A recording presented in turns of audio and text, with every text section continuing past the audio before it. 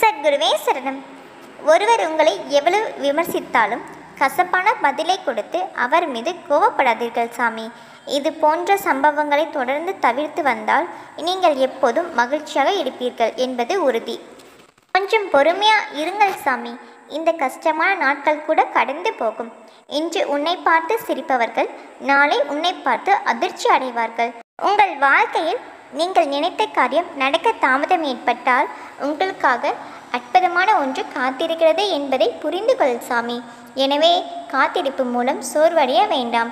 நான் உன்னிடமிருந்து எல்லாவற்றையும் அகற்றிவிட்டு உன்னை காலியாக்கும் அந்த நேரம் வரும்போது நான் உனக்கு புது வாழ்வை கொடுக்கப் போகிறேன் என்று அர்த்தம். அதனால் இதற்கும் வருத்தப்பட வேண்டாம் சாமி.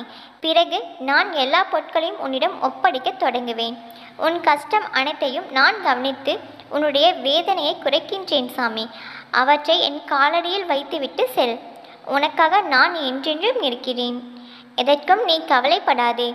நீ செய்யாமல் விட்டுவிட்ட அனைத்தையும் அனைத்து வேலைகளையும் முடிக்க நான் உனக்காக உதவுவேன் சாமி.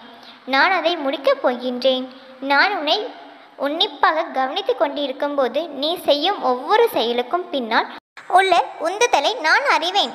மேலும் உங்கள் இதயத்தில் இருக்கும் இருண்ட ரகசியத்தையும் நான் அறிவேன் சாமி. உன் வாழ்க்கையிலுள்ள இருளை அகற்றி பிரகாசமான வாழ்க்கையை உனக்கு நான் அளிப்பேன்.